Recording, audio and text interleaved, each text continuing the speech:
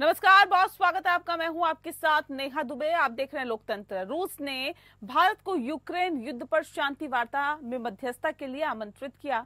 भारत की भूमिका मौजूदा हालातों में ये न सिर्फ़ अहम है, बल्कि कूटनीति की कई चुनौतियों से भरी हुई भी है।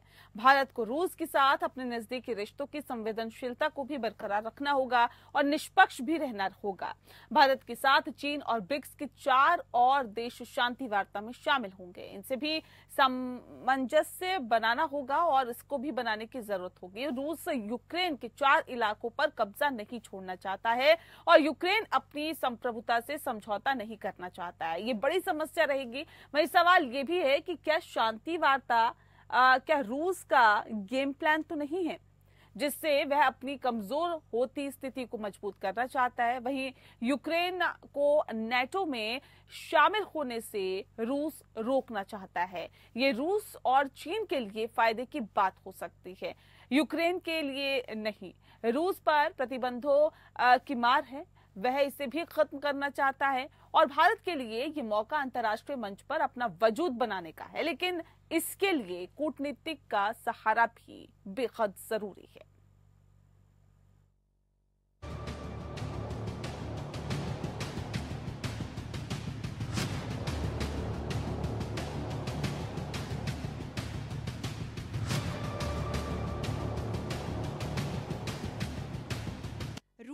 भारत शांति वार्ता में मध्यस्थता के लिए आमंत्रित करके एक बड़ी पहल की है।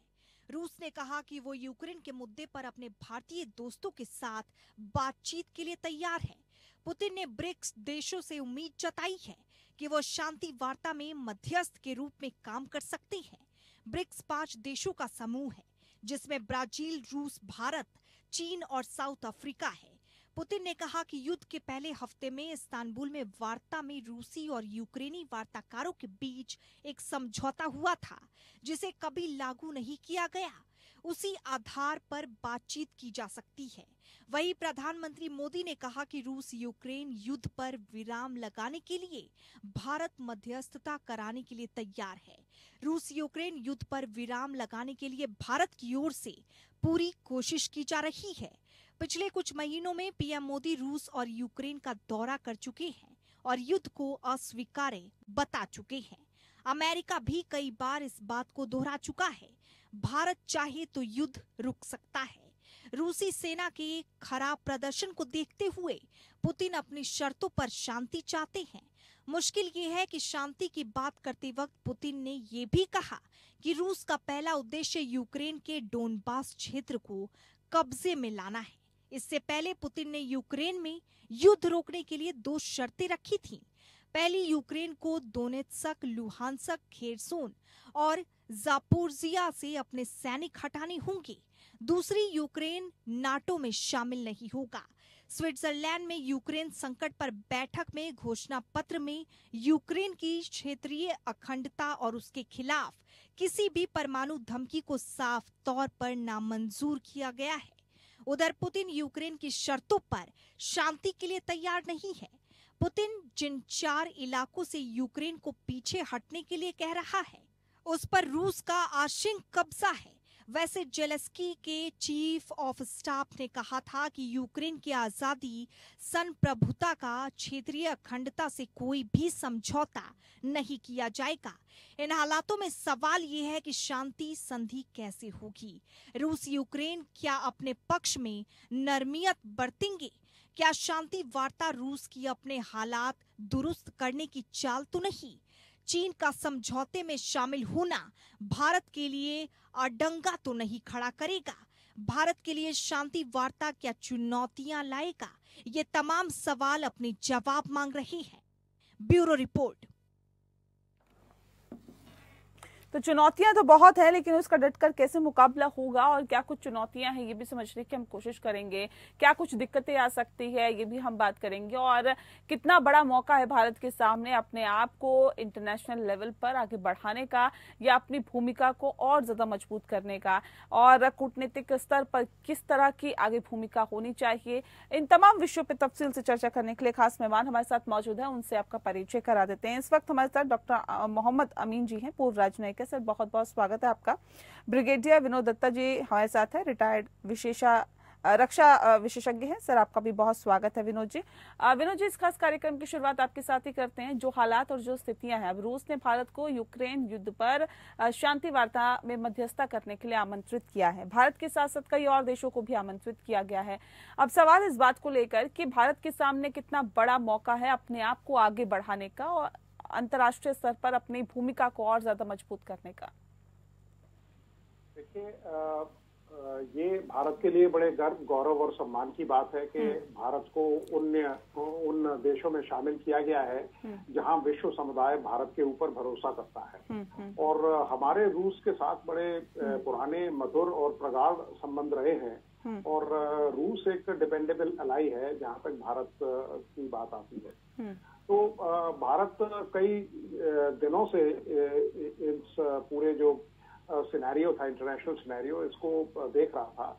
और भारत एक ऐसा देश है क्योंकि खाली एक देश इसको मध्यस्थता नहीं करेगा। हम्म। लेकिन भारत एक ऐसा देश है जिसके कोई अपने इंटरेस्ट नहीं है वहाँ। कोई और जो भी अगर नेगोशिएटिंग टेबल पे वो लोगों को लेके आता है तो वो यकीनन दोनों देशों के हित में होगा। और हम्म, भारत आपने देखा होगा कि भारत के प्रधानमंत्री पहले रूस गए फिर यूक्रेन गए और दोनों देशों के में भारत की जो छवि है वो बहुत ही बढ़िया छवि है और वो ट्रस्ट रखते हैं वो उनका पूरा भरोसा है भारत के ऊपर। हम्म, तो हम्म। भारत के लिए यकीनन ये एक बहुत ही सुनहरा मौका है कि वो अपना जो बैन अवी स्तर पे या जो इंटरनेशनल लेवल पे है वो अपनी एक छाप छोड़ सके। और जिस तरह की लीडरशिप हमारे देश में अब देखी जा रही है जिस तरह की खासकर जैश जो अपने एक्सटर्नल अफेयर्स मिनिस्टर हैं वो बहुत ही मतलब जैसे कहते हुए एक मज़े हुए डिप्लोमेट है और हम्म, कूटनीति हम्म। में उनका कोई सानी नहीं है हम्म। तो भारत को यकीनन इस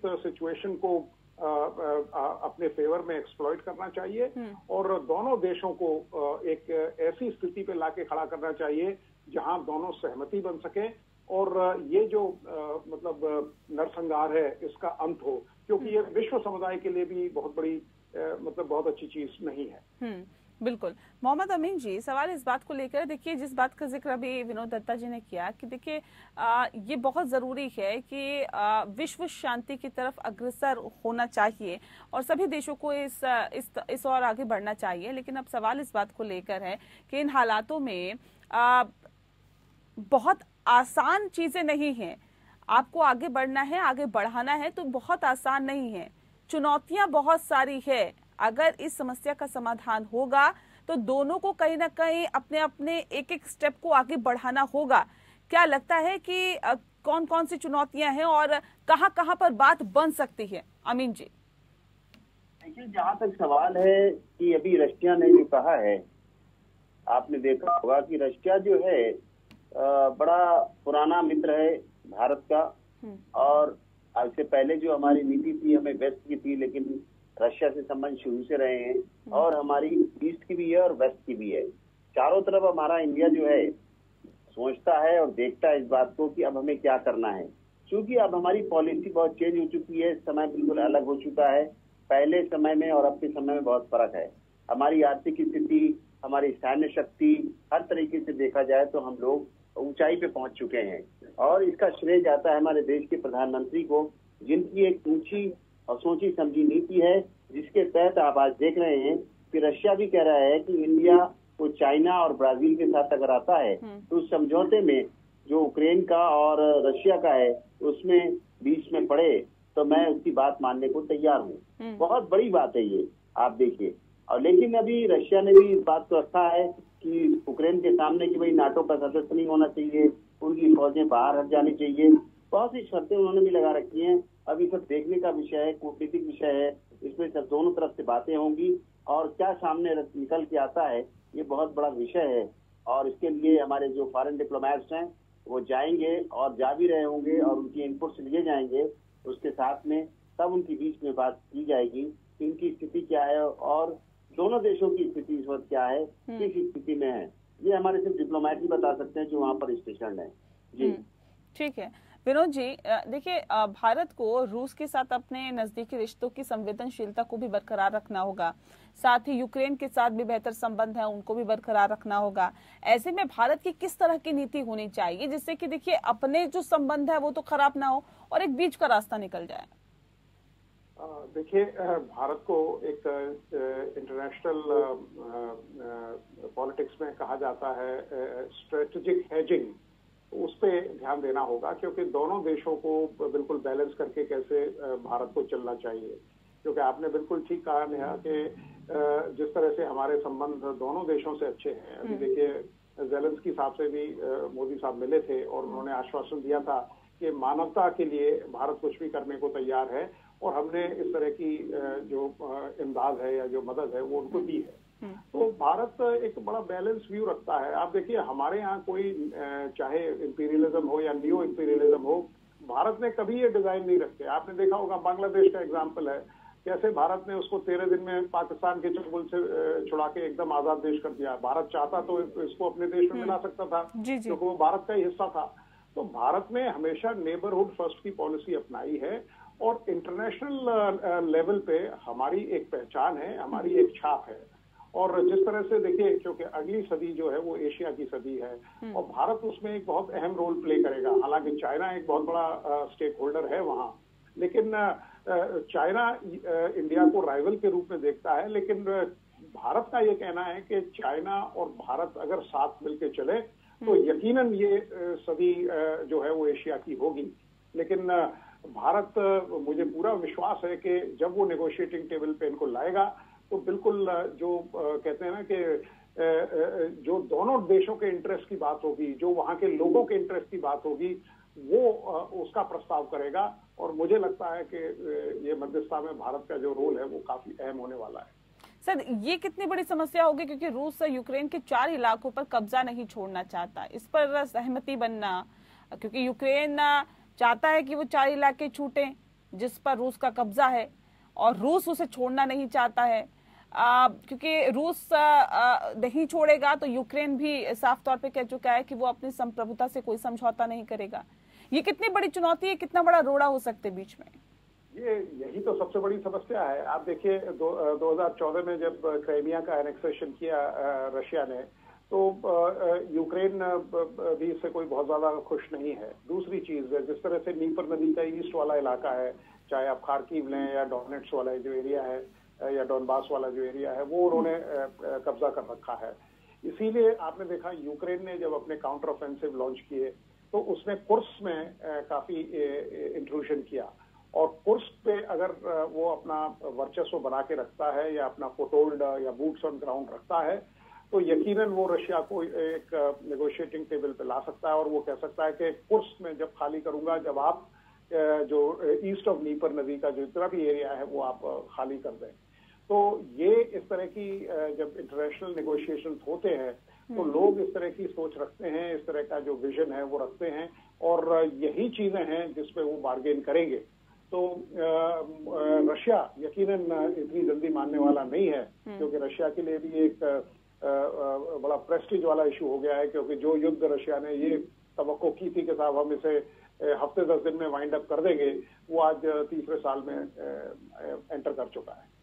ठीक है, मोहम्मद अमीन जी आ, एक तो ये मसला हो गया जो कई क्षेत्रों को घेर रखा है रूस ने लेकिन एक ये भी मसला है कि आ, बार बार जो रूस है वो नहीं चाहता है कि यूक्रेन किसी भी तरह से नेटो की तरफ़ झुकाव हो और वो उसको छोड़ने के लिए तैयार नहीं है। तो क्या इस मसले पर बातचीत तो हो सकती है? अगर होगी तो कितने हद तक ये उम्मीद जताई जाए कि समस्या का समाधान होगा?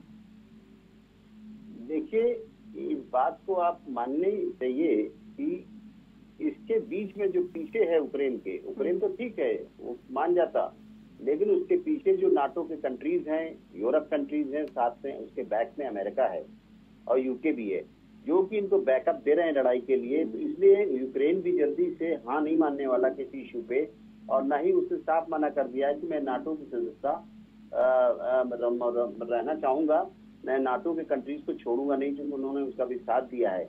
और जितना भरपूर हो सकता है साथ इसको यूक्रेन यूक्रेन को यूके से भी मिला है चाहे वो मिलिट्री हो सैन्य हो इकोनॉमी हो पैसे से भी उसको हर तरीके से सपोर्ट हम्म। दिया गया है। इसी तरह आप देखिए अमेरिका ने भी सपोर्ट दिया है। इसीलिए मैं नहीं समझता हूँ कि करेंगे लेकिन इसके पीछे एक दिल्ली के पीछे एक शेर खड़े हुए हैं। तो जो शेर खड़े हुए हैं उन शेरों के कारण में ये जो बड़ा शेर है जिसका नाम है रशिया रशिया भी मजबूती में अपनी जगह। ऐसा नहीं है। और जहाँ तक सवाल है भारत का तो भारत जो है देखिए भारत की अपनी पॉलिसी रही है। हाँ। पहले मैंने कहा पहले वेस्ट की थी अब ईस्ट की थी अब बल्कि पूरी दुनिया में हम्म। वो विश्वगुरु की स्थिति में है। आज देखिए उसी का नतीजा है कि भारत को प्रपोजल आ रहा है हम्म। कि आप एक टेबल पे आइए और इन लोगों का समझौता कराइए कितनी बड़ी बात है भारत के सम्मान के लिए भारत की लीडरशिप के लिए और हमारी जो डिप्लोमेटिक पॉलिसी है और फॉरेन पॉलिसी उसका ये नतीजा है। जो मेहनत की है हमारे देश के विदेश मंत्री ने क्योंकि वो एक डिप्लोमेट हैं उनका डिप्लोमेट पूरा करियर था वो विदेश मंत्री हैं। ये सब उसका फ़ायदा उठ रहा है हमारे देश को और कंट्री को और जो हमारी जो देश के प्राइम मिनिस्टर हैं उन प्राइम मिनिस्टर का जो सोच है और विजन है और उनका जो दृढ़ विश्वास है उसके तहत भी देखिए कितनी बड़ी बात है जो एक सम्मान की बात है। अभी भी आप देखिए कि वो अभी बुरनई गए थे। बुरनई में भी उन्होंने यही बात कही कि इंडिया जो प्रायोरिटी है वो फॉर आसियान देशों के लिए है। आसियान देशों के लिए। क्यों? क्योंकि इंडो पैसिफिक रीजन जो है वो चाहते हैं हर तरीके से मज़बूत रहे।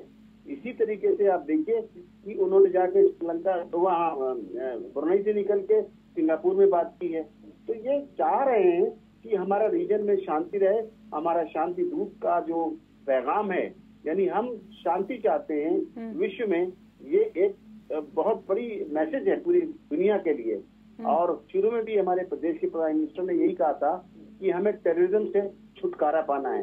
जिसका नतीजा देखिए कि आज जो देश जो हैं इन बीच में जो आते थे आतंकवादी देश आज वो अपने आप में बर्बाद हो रहे हैं। आप देखिए पाकिस्तान को कि बिलोच आर्मी उसको ही खत्म करने के चक्कर में लगी हुई है। उन्हीं के टेररिस्ट उन्हीं को मार रहे हैं। तो ये स्थिति है। तो हमारे देश का कुछ नहीं बिगाड़ पाया। हमारा देश एक शांति प्रिय देश है।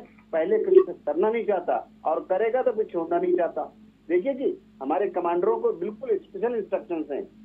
बॉर्डर पे जो स्थिति आपको दिखती है देश के हित में कोई भी आप स्टेप लेते हैं उसमें पीछे हटने की ज़रूरत नहीं है। और देश उनके साथ खड़ा हुआ है सरकार उनके बैक पे है। तो ये बहुत बड़ा मोदी जी का जो सपोर्ट है वो हमारे अधिकारियों को भी है डिप्लोमैट्स को भी है और सैन्य अधिकारियों को भी है जिसका नतीजा है कि आज हमारी देश की स्थिति बहुत मज़बूत है। और आज शांति की पहल के लिए रशिया ने भी उसका प्रपोजल दिया है कि इंडिया चाइना और ब्राज़ील अगर एक साथ आते हैं तो हमारे टेबल पे तो हम उनकी बात मानने को तैयार हैं। कितनी बड़ी बात है विश्व में। जी। ठीक है। विनोद जी क्योंकि रूस भी प्रतिबंधों की मार झेल रहा है सर। इसलिए उसका जो अ, सीधा सीधा ये भी कहना है कि भाई जो अ, यूक्रेन है उसका नेटो की तरफ़ झुकाव नहीं होना चाहिए या ये वहाँ पर नहीं जाना चाहिए। इसे अ, क्योंकि प्रतिबंधों को खत्म करने की भी वो कोशिश कर रहा है और चाहता है कि प्रतिबंध जो है लगे हुए हैं, वो जल्द से जल्द खत्म हो। तो ऐसे में इस और क्या क्या और कोशिश हो सकती है रूस की? देखिए, रूस एक ऐसी स्थिति पे पहुँच गया है कि न तो वो निकल सकता है ना उगल सकता बोल है। बिल्कुल। क्योंकि हाँ क्योंकि रूस का काफ़ी पैसा वर्ल्ड बैंक पे अमेरिका ने फ्रीज कर रखा है। जैसा आपने खुद बताया कि साहब उन पे काफ़ी सैंक्शन लग चुकी हैं। तो रूस की जो माली हालत है वो भी काफ़ी खस्ता है। अगर उसकी इकोनॉमी आप देखें तो करीब दो ढाई परसेंट से ग्रो कर रही है। उसके जो डिफेंस इंडस्ट्री हुआ करती थी जो बिग टिकट कॉन्ट्रैक्ट उसको मिला करते थे वो वो अपना जो डिलीवरी शेड्यूल है, उसको फॉलो नहीं कर पा रहा है तो उसकी भी आमदनी के जो ज़रिए हैं, और war is a costly hobby तो रूस की भी जो माली हालत है, वो बहुत ज़्यादा हेल्दी नहीं है। तो रूस ये चाहेगा कि अमेरिका की तरफ़ से जो सैंक्शंस लगाए हुए हैं, उन पर थोड़ा सा मतलब वो नरमी बरती जाए, और उसका जो पैसा है वर्ल्ड बैंक पे, इसीलिए आपने देखा होगा कि ब्रिक्स के जो देश है, उन्होंने एक अपना नया बैंक शुरू किया है। जिससे कि अगर इस तरह की कोई सिचुएशन आती है तो अमेरिका के किसी भी देश को कोई अकाउंट फ्रीज न करे। तो रशिया की अपनी समस्याएँ हैं लेकिन हाँ वो ये चाहेगा कि अब इसको कोई कंक्लूसिव एंड पे ले जाया जाए। और क्योंकि अब देखिए lot of water has been you know has flown over the bridge क्योंकि अब यूक्रेन क्योंकि उसके पास अब खोने को कुछ है नहीं। तो वो नेटो का साथ बिल्कुल नहीं छोड़ेगा क्योंकि जिस तरह से नेटो ने सपोर्ट किया है क्योंकि आज अगर यूक्रेन मतलब चाहे वो लड़खड़ा ही गया है लेकिन आज अगर उसके अंदर जान बची है तो वो केवल नेटो और जो वेस्ट की उसको मदद है या इमदाद है उसकी वजह से है। तो वो यकीनन चाहेगा कि वो नेटो में शामिल हो और रशिया के लिए ये एक मतलब काफ़ी डिफीट होगी कि वो इतना सब गंवाने के बाद भी मतलब यूक्रेन को ये कन्विंस नहीं कर पाया या उसको डिसवेड नहीं कर पाया कि वो नेटो के साथ न जाए। ठीक है लेकिन सर ये भारत के लिए आ, अगर इस समस्या का समाधान हो जाता है अगर आपसी सहमति बन जाती है ये भारत के लिए कितनी बड़ी बात होगी और अंतर्राष्ट्रीय लेवल पे भारत का जो कद है वो कितना और बढ़ जाएगा? देखिए भारत की जो अभी स्थिति है अगर आप देखें तो भारत में पिछले सात आठ दशकों में हमने काफ़ी प्रोग्रेस की है और आज जो हमारे नेता हैं या हमारा देश है उसकी गिनती काफ़ी जो बैलेंस पावर है वर्ल्ड की उनमें से की जाती है। क्योंकि हमारे यहाँ देखिए तीनों चीज़ों का जो जो कहते हैं ना कि जो ग्रोथ इंजन हैं वो फायर किए हैं। चाहे वो राजनीति हो चाहे कूटनीति हो या रणनीति हो। इन तीनों का जो समन्वय लेके भारत की सरकार चली है उसका लोहा पूरे विश्व ने माना है। और आप ये देखिए कि जितने बड़े इवेंट्स हुए हैं आपने देखा होगा कि जी सेवन हालाँकि भारत तो उसका सदस्य नहीं है लेकिन फिर भी एज ए स्पेशल गेस्ट हमें बुलाया गया। अ, हमने जी ट्वेंटी का आयोजन किया गया।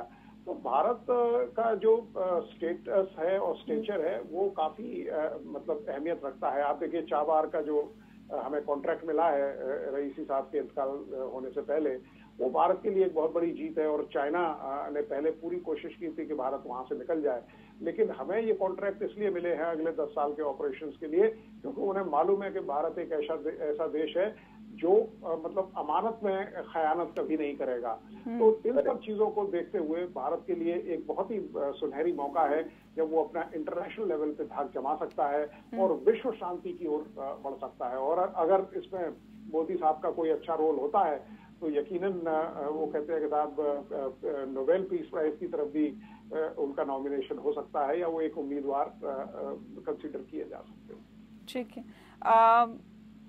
अमीन जी चीन की क्या भूमिका इसमें रह सकती है? आपको क्या लगता है कि चीन क्या भूमिका क्योंकि खुलकर रूस का उन्होंने साथ दिया। यूक्रेन के साथ कोई लगाव नहीं कोई बात नहीं। अब ऐसे में क्या भूमिका रह सकती है चीन की इस समझौते के तहत?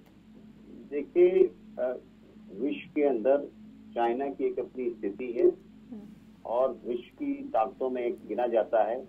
उसकी अपनी वीटो पावर भी है यूनाइटेड नेशंस के अंदर। वो किसी भी समझौते पे वीटो कर देता है जो नहीं लागू हो सकता। तो भविष्य की बहुत बड़ी ताकत है और उसको पुतिन ने जो है आ, अपनी बातों से अपने व्यवहार से वहाँ जाकर उनसे बातचीत करके उनको अपना लिया है। और तो और अपनी स्थिति को स्पष्ट किया है और ये कहा है कि हम एक अच्छे दोस्त हैं पड़ोसी देश हैं। तो वो इसलिए पुतिन ने देखिए चाइना को भी उसमें डालने की बात कही है। इसलिए कि उसका फेवरेट है। और इसी तरह ब्राज़ील की बात देखेंगे तो ब्राज़ील को भी गाँव उसने इसलिए फेवरेट है। और इंडिया तो हमारा शुरू से ही फेवरेट रहा है रशिया का। तो इन तीनों देशों को इसीलिए उन टेबल पे लाने की बात कही है कि वो उसका फेवर करेंगे। न कि यूक्रेन का फेवर करेंगे। जब भी कोई झुकाव होगा या कोई डिसीज़न होगा उसके लिए रशिया के लिए ये फ़ायदेमंद होगा।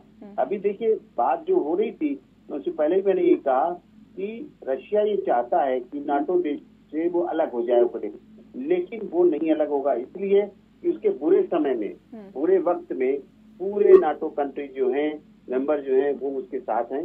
वो चाहे वो फाइनेंशियली हो चाहे वो आर्मी की सप्लाई हो चाहे उनको हथियार देने की बात हो चाहे उनको मॉरली सपोर्ट देने की बात हो देखिए बीस बार के बीच भी बार बार ये यूक्रेन के जो प्रेसिडेंट है वो बार बार गए हैं वहाँ पर और जाके सहायता मांगी चाहे वो उस वक्त मैं लंदन में था जब ये पहुँचे थे पहली बार वहाँ पर और बात भी की थी। उस वक्त तो हमारे जो इंडियन ओरियन के प्राइम मिनिस्टर थे वो उस वक्त थे वहाँ पर उनसे भी बात की और उनसे भी अपनी सहायता लेके आए पूरी। जिससे पहले की सरकार थी। तो अब ये सब बातें देखते हुए लगता है मुझे कि रशिया भी कुछ अभी ये बात कह रहे थे हमारे साथी तो रशिया भी कुछ अपनी परिस्थितियों में है कुछ परेशानियों में वो भी चाहता है कि लड़ाई बंद होनी चाहिए क्योंकि दो साल से ऊपर हो चुकी है लड़ाई और ये एक रशिया के लिए अच्छा साइन नहीं है कि छोटा सा कंट्री उसके सामने डटा हुआ है। क्यों? कि उसको मॉरल सपोर्ट फाइनेंशियल सपोर्ट और आर्मी का सपोर्ट जो वेस्टर्न कंट्री से मिल रहा है इसलिए उसका अब ये जो है कि ये शांति की तरफ़ आ जाए जिसका कि मैसेज ऑलरेडी हमारे देश के प्राइम मिनिस्टर ने वहाँ मिल रशिया में भी और यूक्रेन में भी दे दिया कि लड़ाई अच्छी नहीं है आपको लोगों को जान माल और सभी चीज़ की नुकसान हो रहा है तो देश तरक्की पे नहीं जाएगा और हमारे पड़ोसी देशों को नुकसान होगा इसलिए प्लीज़ आप शांति वार्ता करें और लड़ाई को बंद करें। हम्म, बिल्कुल। अब कितनी सहमति आपसी बन पाती है, ये तो आने वाला वक्त बताएगा, इसके लिए थोड़ा इंतज़ार करना होगा। बहरहाल, बहुत शुक्रिया आप दोनों खास मेहमानों का हमारे साथ इस खास चर्चा में शामिल होने के लिए। लोकतंत्र में फ़िलहाल के लिए इतना ही। नमस्कार।